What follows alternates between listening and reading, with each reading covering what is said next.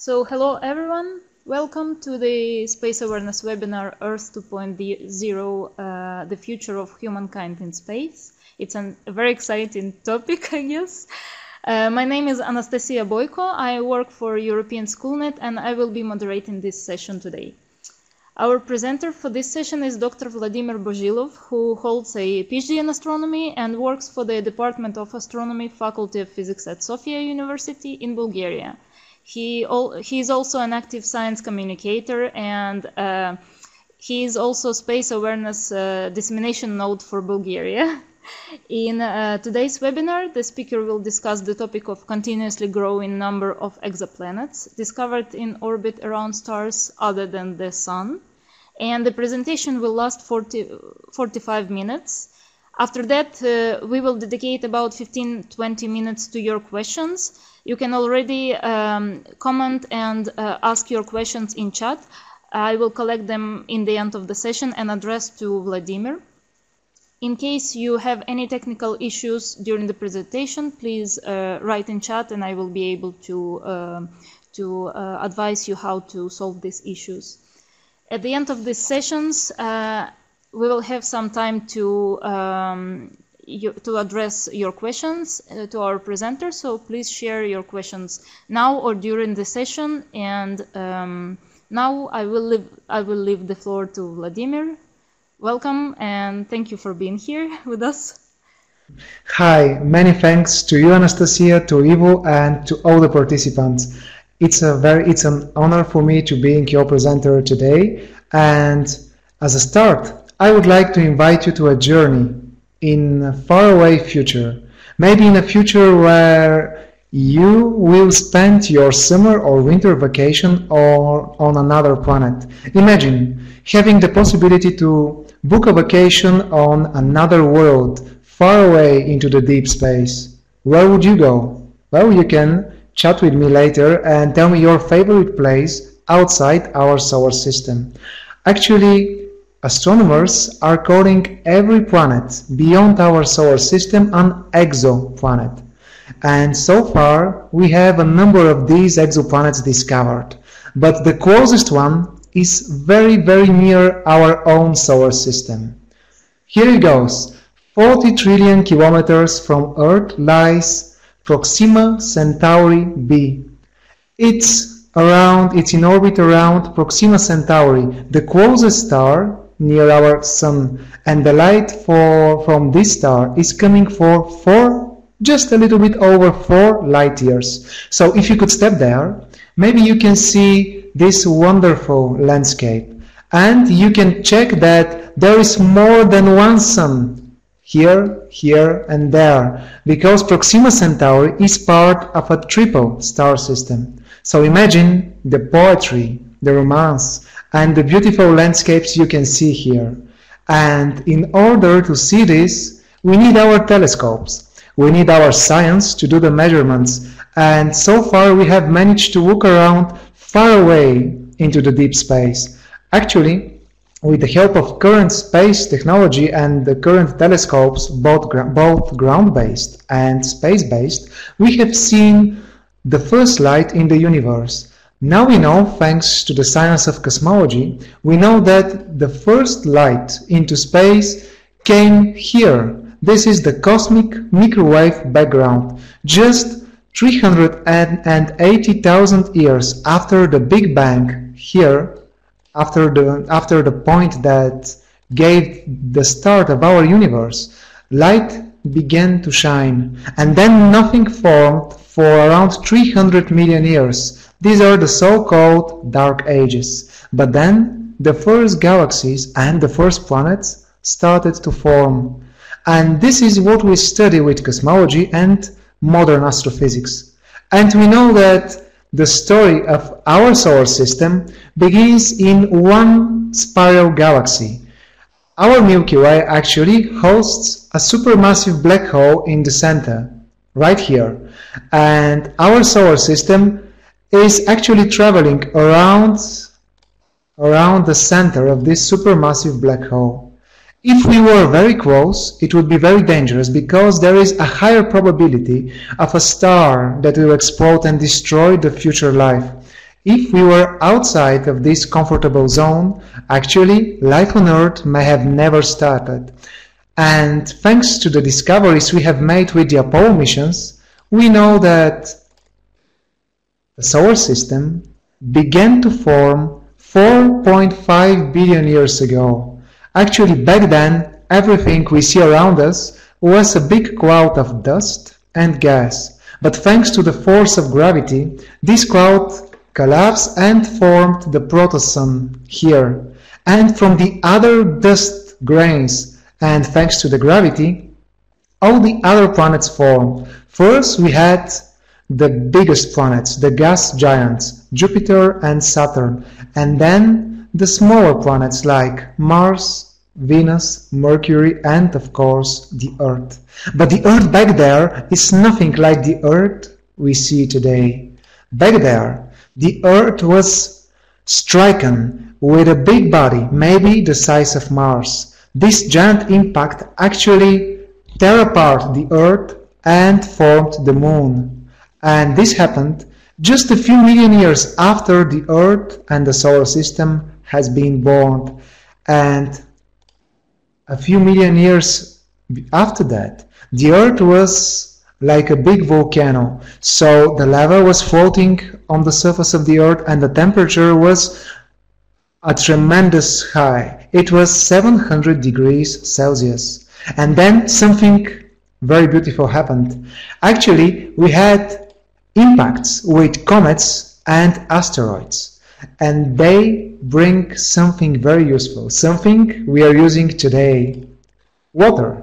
Water from space is actually what is the basic substance of life. Next time when you're drinking water or uh, when you're taking a bath, you can think about space. You can think about this space awareness webinar because part of these water molecules were formed far away in the beginning of the universe and was brought to you by asteroids and comets. And we know that for certain because we can observe the distant active galactic nucleus. So what we see here on this picture is very important. It's on the modern trend in astrophysics. So this is a representation of an active galactic nucleus. This means that we have a very old galaxy and in its center is a supermassive black hole. This means that we have million solar masses, million times the mass of our sun compressed in the size of our solar system. But all this is hidden. We don't see the supermassive black hole because there is this torus, this cloud of dust, and it's stopping our efforts to see the center of the active galactic nucleus. But when matter is falling down the supermassive black hole, the particles are getting accelerated so much that they radiate. This radiation is right here. These jets of energy are actually characteristic for all active galactic nucleuses. But what's important is that here in the dust that's stopping our view to the center, in this dust astronomers, astronomers have found water, ice crystals, and such active galactic nucleuses are found more than 13 billion years ago, just 1 billion year after the universe has formed.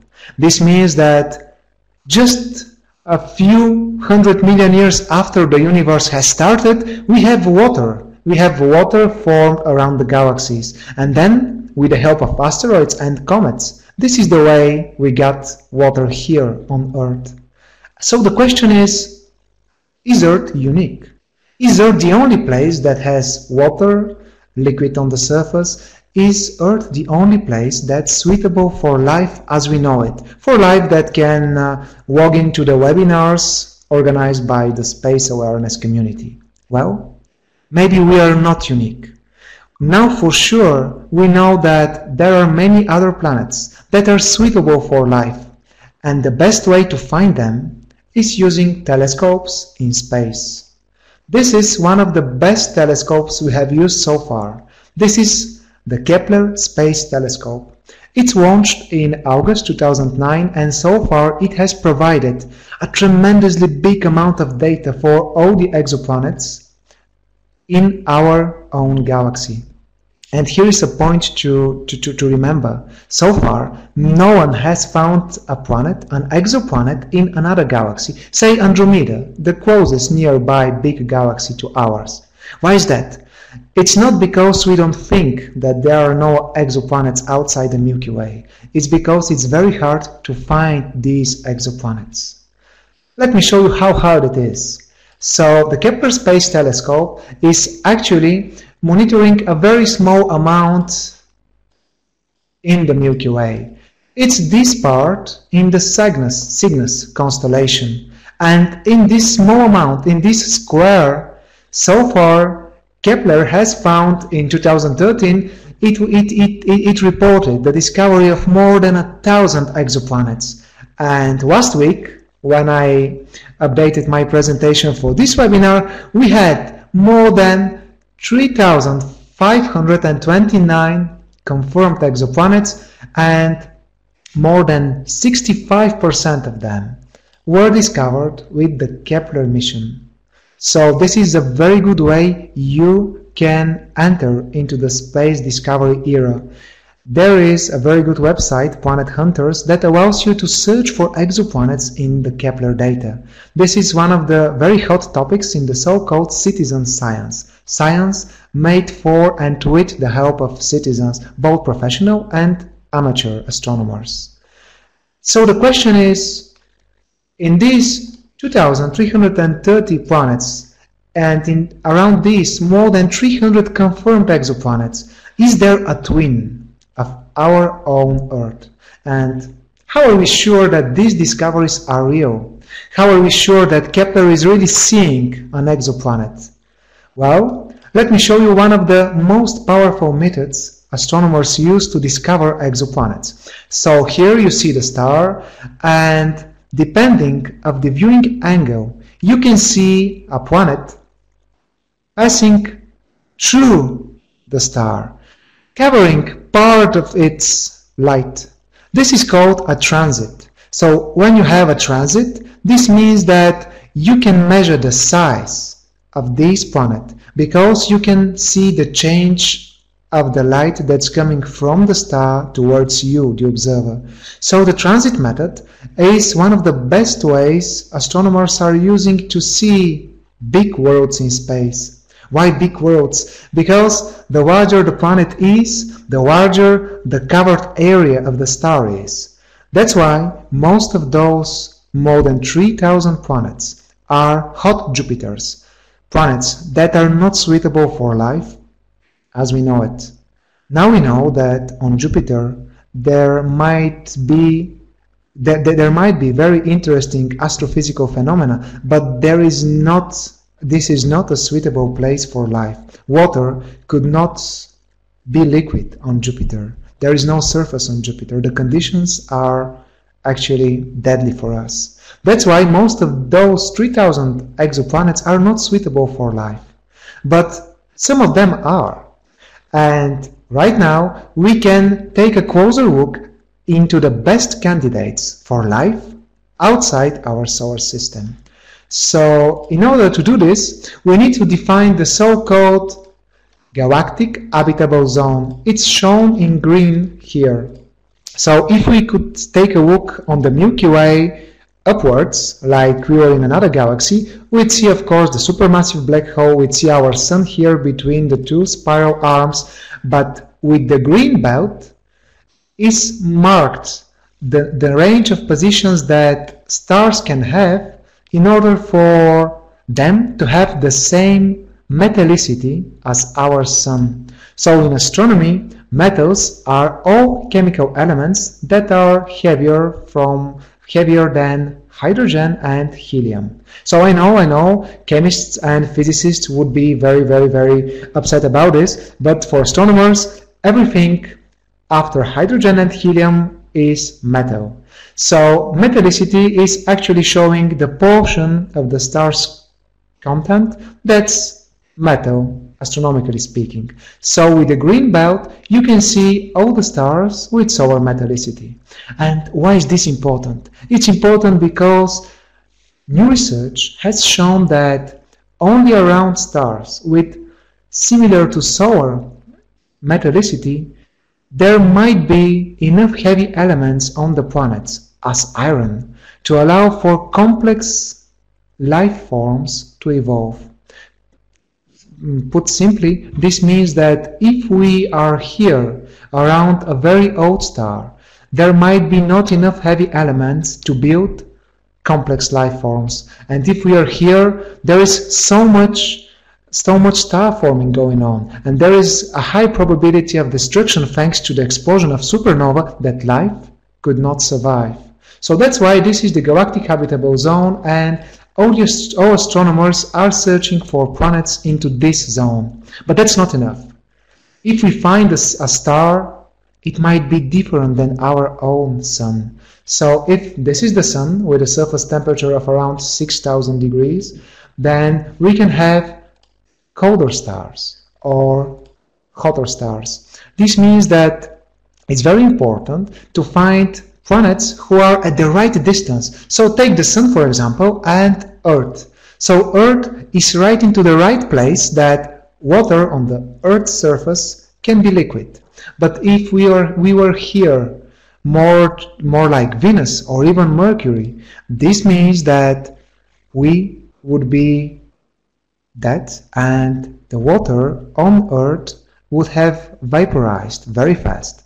On the other hand, if we were well beyond the orbit of Mars, any water that has been left would be turned to ice. So liquid water demands a specific position of a planet around its star and this position dep depends on the star's luminosity, on the star's temperature. So this belt is called the habitable zone. This is the place when, by definition, life can be liquid on any planet or exoplanet discovered. And of course, this can change with time. In 5 billion years, when our sun is going to its end of life and it's turning to a red giant, this zone will be moved much far away. But in the next 5 billion years, we are safe. We are safe here. But we are searching for other planets in the habitable zone of their host stars.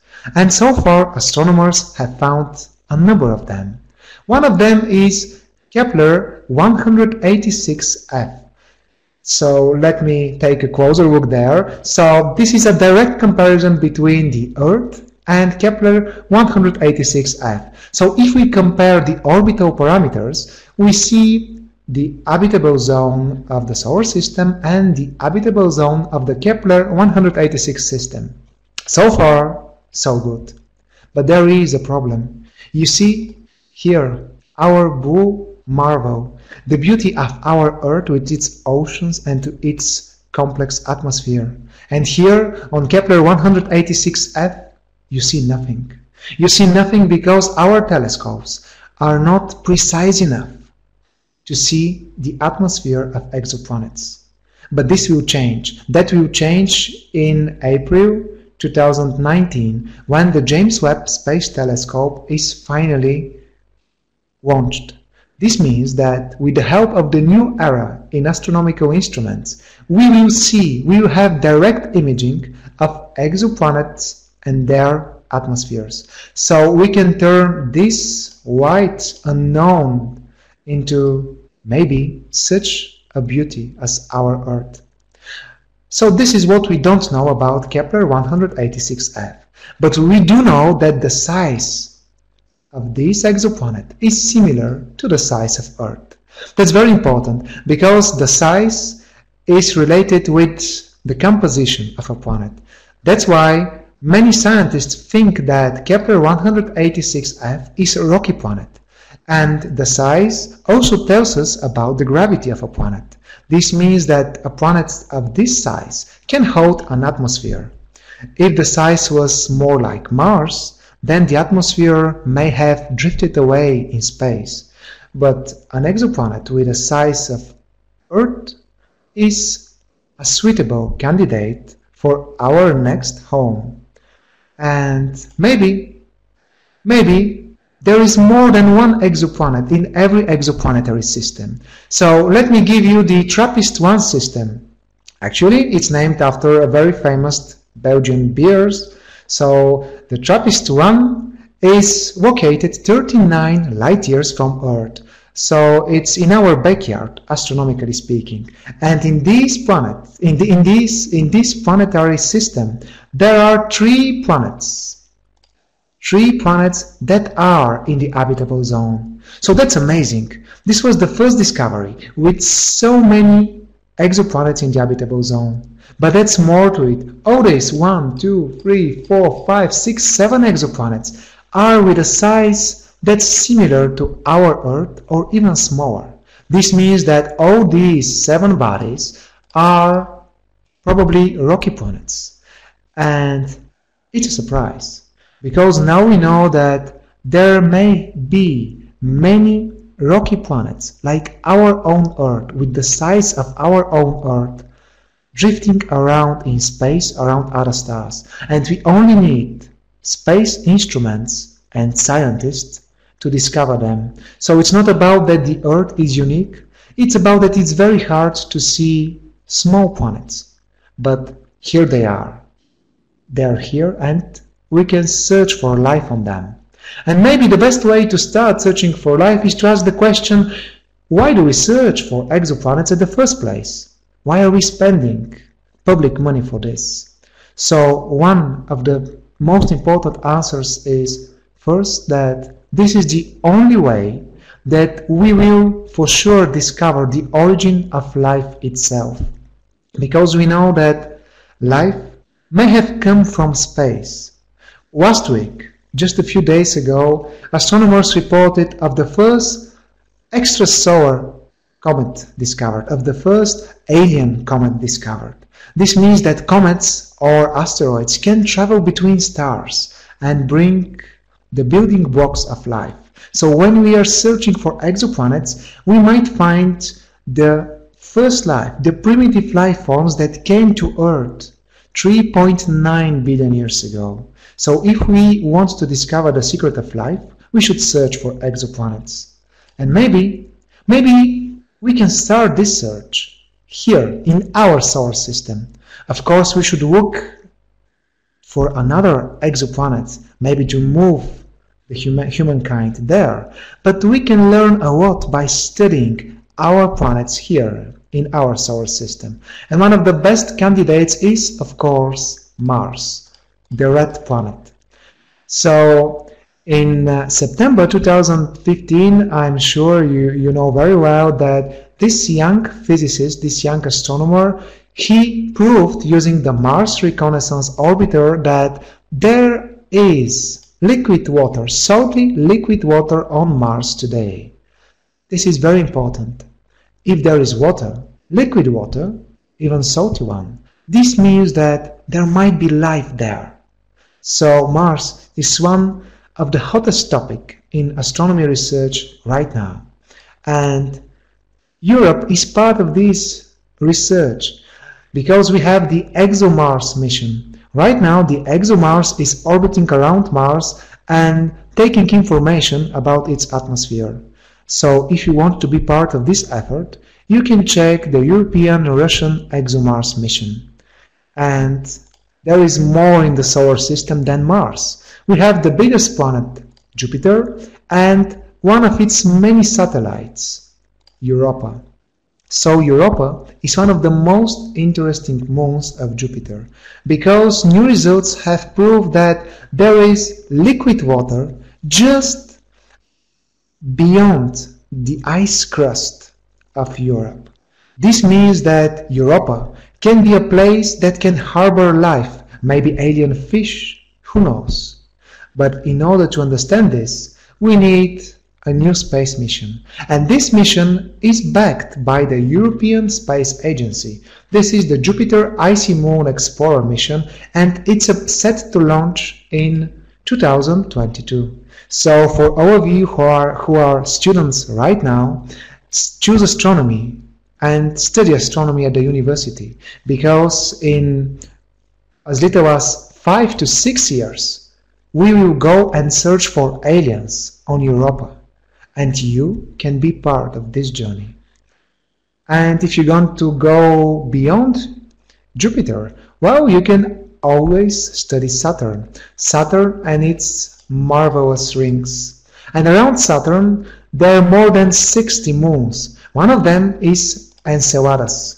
Enceladus is also a very interesting place because we know from the Cassini analysis, from the Cassini mission, who was just destroyed into the atmosphere of Saturn to save the possible alien life forms on Enceladus, we know that the geysers here contain suitable material for life to exist. The food for life is here, and based on the analysis of Enceladus, we know that there might be a liquid ocean beyond the ice crust here as well. So you have liquid water and heat, you have geysers with food, so maybe you have alien life here. That's why Enceladus is also one of the most important places to search for and maybe find alien life forms. And it's also very important in order to understand what are the exact conditions that are suitable for life to start. This is one of the biggest riddle in biology. We don't know how life started. And astrobiology, the discipline that combines astronomy with biology, is holding the key to this question, to the answer of this question. And as a final step in our journey, I would like to ask ourselves, why do we need to study space? Why do we need to study the cosmos? As long as humankind has remembered, as long as history existed, we humans have always looked up in space and we have always been searching for our place in the universe. Let, here, let me show you one of the oldest myths of creation so this is the ancient Egyptian myth of creation and here you can see the goddess of water, Nun, who is lifting the boat of the sun god Ra. And Ra is of course giving rise to the sun and start of the universe. So this is one of the ancient myths of creation. Right now we have a better story. We have the science story. We know that the universe began in a Big Bang and a few million years after the Big Bang the universe cooled down and just 300 million years after the bang the first stars formed. The stars, the, the first stars, the so-called population tree stars, were very massive and when they exploded they give rise to a very fast star formation and they also enriched the environment with heavy elements. And now we know that this enrichment with heavy elements is crucial for life to evolve, because only in the course of heavy stars can we synthesize elements heavier than iron. This means that only thanks to the explosion of a supernova in the last 5 billion years, when our solar system was just a baby solar system. Thanks to this explosion in the birth of our solar system, we have the iron in our blood. All the heavy elements in our body, everything that's heavier than iron, is actually produced in stars. At least one star exploded when our solar system was forming. And if this wasn't the case, we wouldn't be here today. This means that, as Carl Sagan used to point out, we are really made of stardust. We are really having a piece of a star inside us. And when we are studying space, this means that we are studying ourselves. The story of humankind is written into the stars, and we should go there and learn it and discover it. And I'll finish with one more quote from Carl Sagan. So, imagination will often carry us to worlds that never were, but without it, we will go nowhere. Now, thanks to the evolution of space technologies, thanks to space education, and thanks to projects like space awareness, many more people can, can enjoy the beauty of space. Now, thanks to science, we can go anywhere. So, let's do it. This was the short presentation I have been preparing for you guys, and now I'm ready for your questions. Thank you very much, Vladimir. It was very interesting and uh, inspiring uh, presentation, and uh, I don't see that much um, uh-huh, that much questions, but uh, maybe we can start with the light uh, light question from me. So um, when actually we can uh, when we can already pack the suitcases and go fishing in lakes and rivers on exoplanets?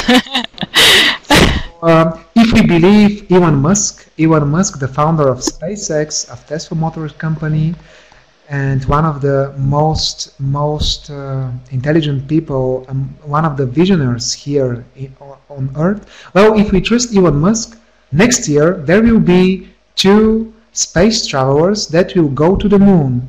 So uh, the official information is saying that two very rich people, names not mentioned so far, will travel to the moon. So the era of space tourism might be actually next year. But here we are talking about the moon.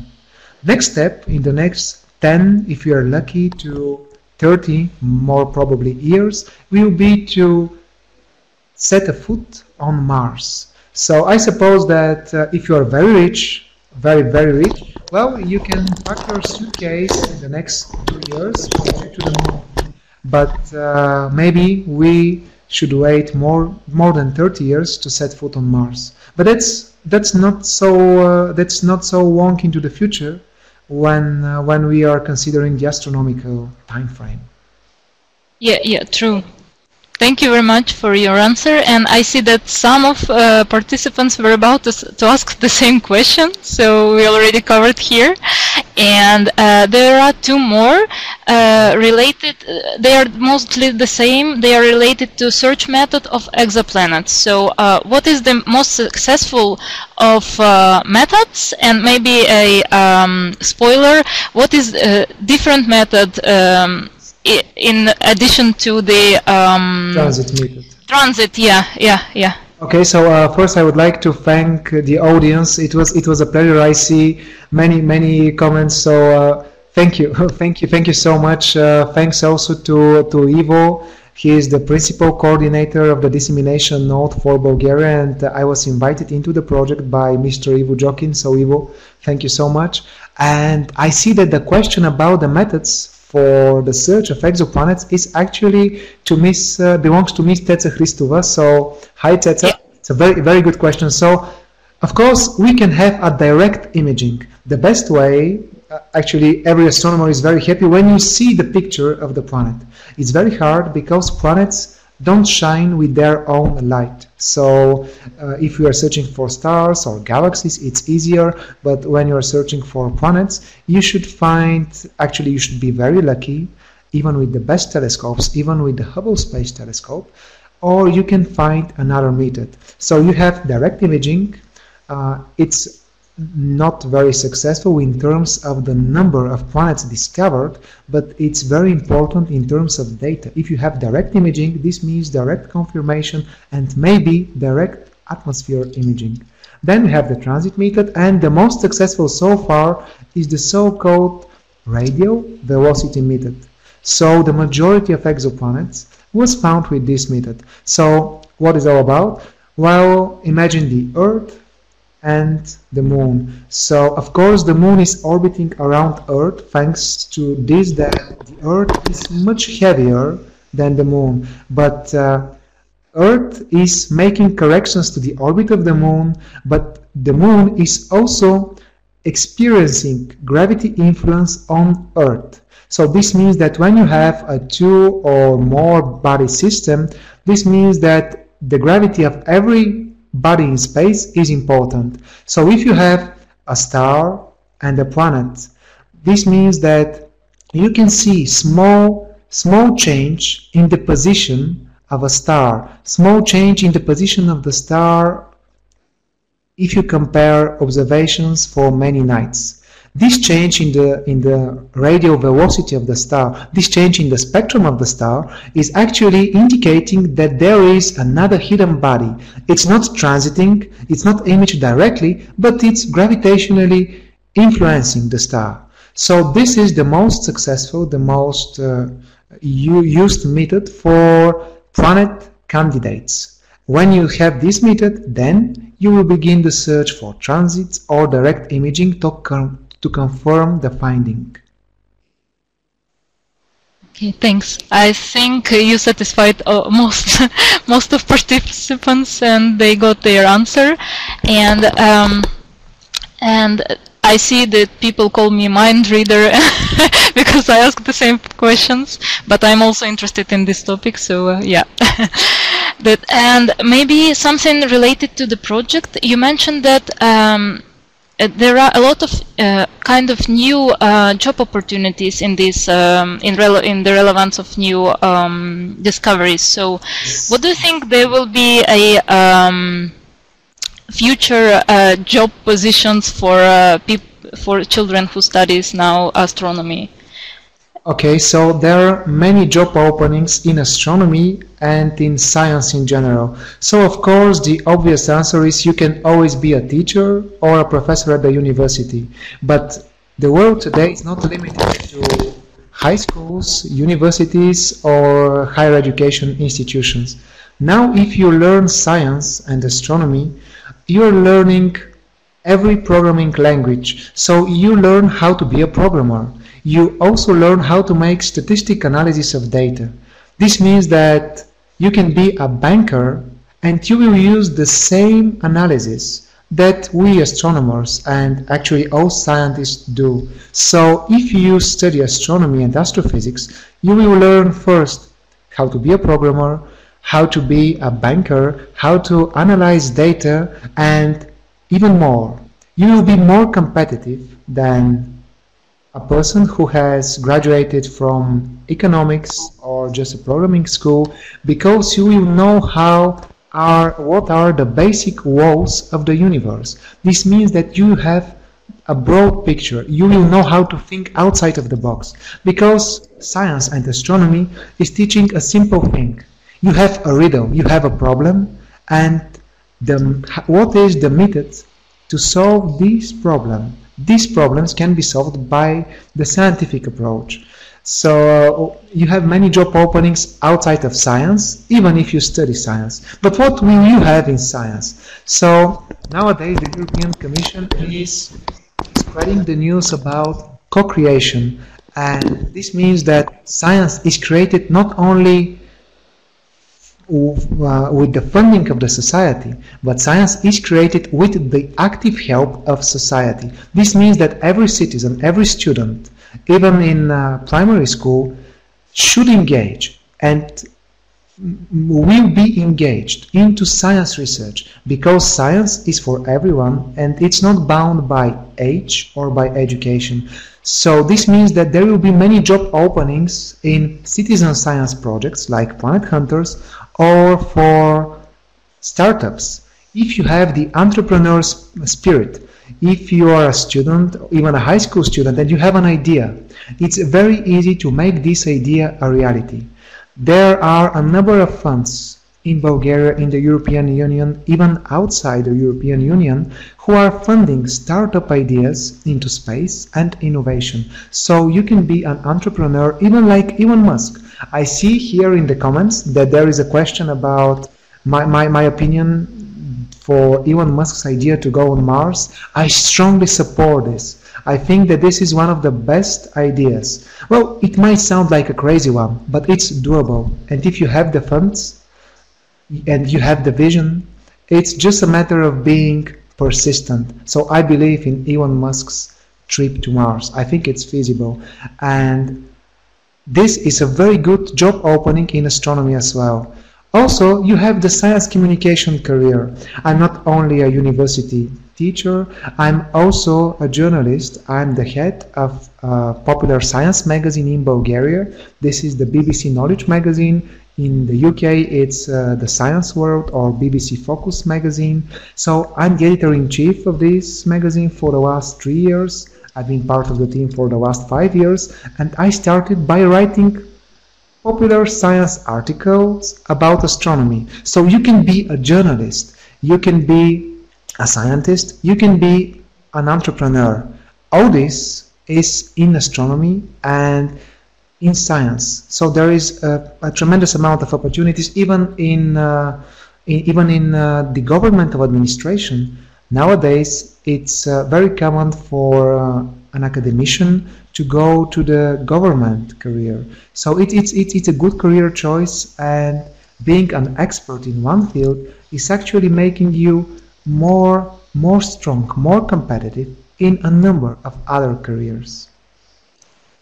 Okay, thanks, uh, Vladimir. So um, I saw also one participant recommended Citizen Science Project. It's a nice uh, opportunity for teachers and their students to um, to collaborate and actually to have a glimpse of uh, what scientists do in their real life to uh, support them and um, maybe have uh, an international project with different schools. So it's a nice opportunity. If you're interested, just check in the internet or on the Space Awareness website, Yes. uh, Citizen Science Project. Yes, yes. And uh, I think there is a comment. Yeah, Annalisa uh, commented that uh, science for everyone as a social contribution uh, and uh, way of thinking and understanding reality. It's a nice vision of future. Yeah, I, I cannot agree more because yeah, this is uh, this is kind of uh, what we uh, have to um, to show the uh, future generation of space explorers that there is a um,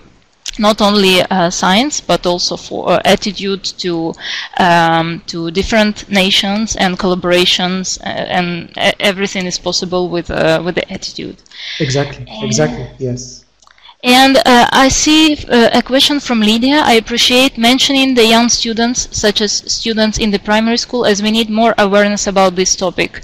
Thanks indeed, very interesting. And coming back to this, uh, so I, I believe that we need to start young, and uh, Space Awareness Project is uh, dedicated to this, uh, to educate uh, children from very, very young age. And maybe you can tell us more about initiative you have in Bulgaria about this uh, Muzeiko uh, club.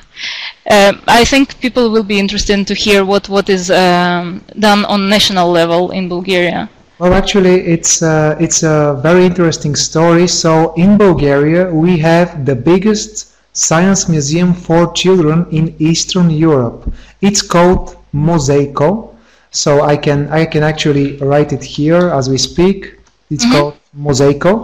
Uh, this means a small museum, but it's not small at all. It's uh, funded by the America for Bulgaria Foundation, and it's actually containing more than 180 interactive attractions that are aimed to increase science interest into kids and their parents. And with uh, four other colleagues, we are actually leading the planetarium of Muzeiko. This means that uh, we have created a number of special shows, of, of special lectures dedicated to children, and uh, six day every week, non-stop, we are showing what is the beauty of the planets in our solar system, what are the different constellations, and what is the sky right now, and what you can do tonight with your parents if you look into the sky. So we have a number of shows, and in the last two years, Muzeiko had more than 200,000 visitors and the planetarium alone has more than 30,000 visitors. So this is a, this, this is a huge number of visitors. Actually, I encourage all people from Europe and around the world when you come to Bulgaria, please visit Muzeiko. It's one of the most exciting places to learn about communicating science to children. Thank you very much. And uh, I don't see any uh, other comments except thank you, and we really appreciate this session, and it was very interesting. So, um, Well, if you have actually I saw I saw one question. uh, Sorry, sorry to interrupt. I, I saw one one question about uh, what is the possible number of exoplanets that can uh, have life on it. It Ah, yeah, I missed uh, this. was, Yeah, uh, true. I think yes. Sorry about this. I just because it's it's a very interesting question. Actually, Yeah, it's it's uh, uh, we have the so-called Fermi's paradox. So Enrico Fermi, the famous Italian uh, physicist, actually answered the question uh, this way. So space is very big, so there should be aliens around our Milky Way. But given the age of the universe and given the size of the Milky Way, 100 light years, this means that we should have alien ships zipping around. But that's not the case. So where are they? If we are not alone, where are the aliens? And uh, Drake, Frank Drake, in the 60s of the, of the last century, he actually answered this by calculating a formula. It was a formula who was taking into account the number of planets. Well, of course, then he didn't know the exoplanets discovered. The first one was indeed discovered by Hubble Space Telescope, as one of the uh, one of the colleagues here mentioned. But uh, Drake used the possible number of planets, the possible number of stars like our own sun. He tried to calculate the probability of life on every of these planets, the probability of life not to destroy itself, and then he came with a number. And the problem is that when you have so many parameters, then you can give every answer you want to. For example, I have a paper in 2010. It's been published in the International Journal of Astrobiology, and uh, actually, we can prove that you may have more than 100. This is the this is the concrete answer to the question. You can have more than 100 planets with a civilization at the technological level of mankind right now in our Milky Way. But thanks to the vastness of space and thanks to the limit of the speed of light as a mean of communication, they can never exchange they can never exchange signals. So I will answer to, to the question of, uh, of the audience that you may have more than a hundred planets, but thanks to, to the vastness of space, maybe they will never meet. Thank you. It's, it was a brilliant webinar, I guess, and uh, everyone is agree with me. it was very interesting and very clear. So uh, I think people are inspired now, and they will be more aware about the exoplanets and uh, possibility of life uh, just next to us, around the corner. Thank you. Thank you. My pleasure. My pleasure. Thank you. Um, okay, so um, the recording of this webinar will be available in a couple of days on the Space Awareness website. And also, um, we will attach the presentation from today's webinar there on the webpage. So uh, I will send a follow-up email to all the participants, and you will be, be able to enjoy once more the recording. Uh, I see. Thank you, and Mr. Bozhilov rocks. Thank you. Bye bye. Thank you. And super visit Bulgaria. cool. Visit Bulgaria, and uh, we'll talk more on life. Thank you very much, Vladimir. It was very nice. Very nice. For me too, it was a pleasure. yeah. Bye bye. Thank you. Have a nice evening. You too. Thank you, and see you in Sofia. See you. Bye bye.